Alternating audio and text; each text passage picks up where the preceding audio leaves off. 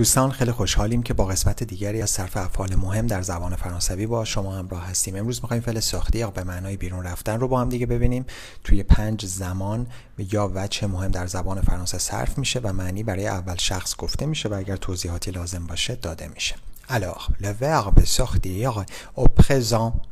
Je sors, tu sors, il sort, nous sortons, vous sortez, ils sortent. من بیرون می‌روم ورق بزنید Alors, à l'imparfait یا ماضی استمراری Je sortais Tu sortais Il sortait Nous sortions Vous sortiez Il sortait من بیرون می‌رفتم ورق بزنید خب توجه داشته باشید در پس کمپوزه فعل ساخته جز افعالیه که با اتر صرف میشه اما در شرایطی با اواخ هم صرف میشه که زمانی که با اواخ صرفش می‌کنم بهتون توضیح میدم.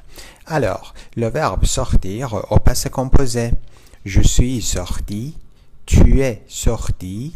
Elle est sortie. Nous sommes sortis. Vous êtes sortis. Elles sont sorties. من بیرون رفتم.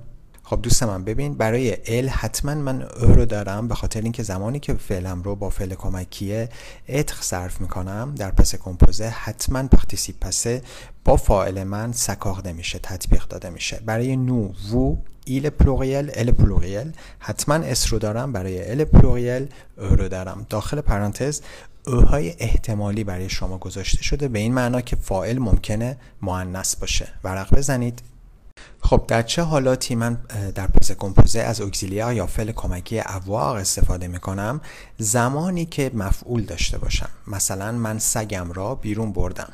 j'ai sorti خب حالا بریم ببینیم در passé composé با اگزیلیا اواق به چه شکله. ژ ساختی sorti Il a sorti, nous avons sorti, vous avez sorti, ils ont sorti همونطور که میبینیم اینجا دیگه پسه سکاخته نمیشه با سوژم من سگم را بیرون بردم ژ ساختی mon chien ورق بزنید در وجه شرطی حال au conditionnel présent je sortirai tu sortirais il sortirait nous sortirions vous sortiriez il sortirait من احتمالا بیرون خواهم رفت. امیدوارم که این پست هم براتون مفید بوده باشه. مرسی. در زمان آینده کامل au futur simple je sortirai tu sortiras il sortira nous sortirons vous sortirez ils sortiront من بیرون خواهم رفت. ورق بزنید.